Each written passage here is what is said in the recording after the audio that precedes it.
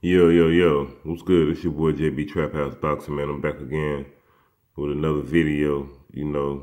Um, shout out to the whole LDBC, man.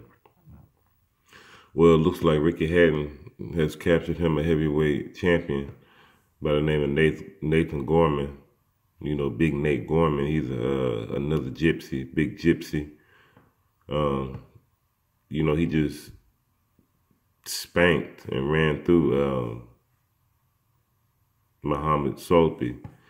You know, two undefeated fighters. I think Nate Gorman was 10 and 0 with what eight or nine knockouts, and um, uh, Mohamed Soltby was, I think he was 13 and 0 with eight or nine or 10. It was something like that. It was both undefeated fighters.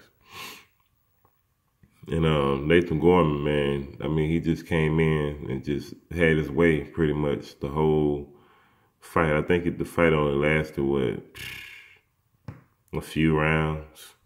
I don't even think it went five rounds, to be honest with you.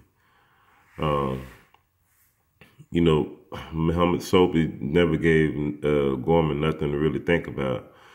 You know, Gorman just ran through him, just came through leading with left hooks you know, just putting the pressure on him, being more physical, more aggressive, and just bullying um, uh, Mohamed Soltby. Mohamed Soltby was trying to, you know, fight off the back foot, but he wasn't. He wasn't effective. He wasn't executing off the back foot at all.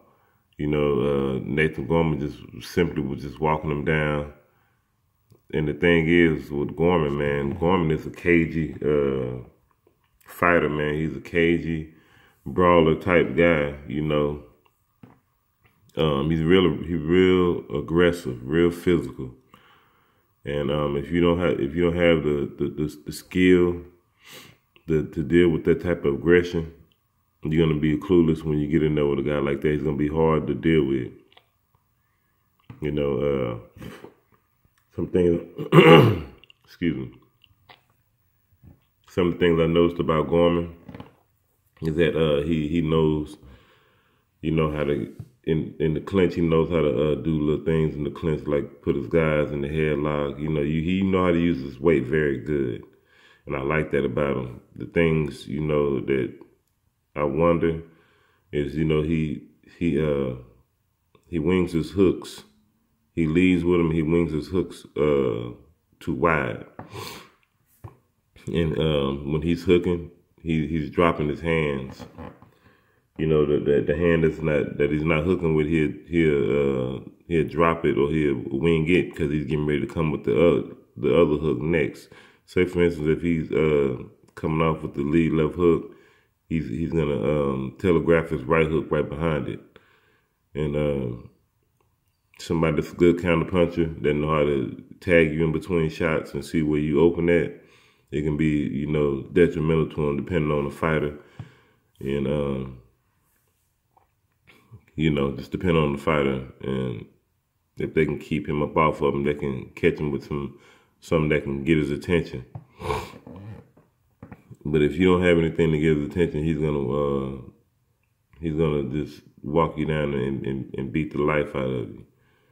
Uh, I like his power. He got some good power, um, good hand speed you know, for a big guy. You know, um, defense is okay. You know, he got some, like I said, he's only 10, 11 fights in now. So he got some more work to do.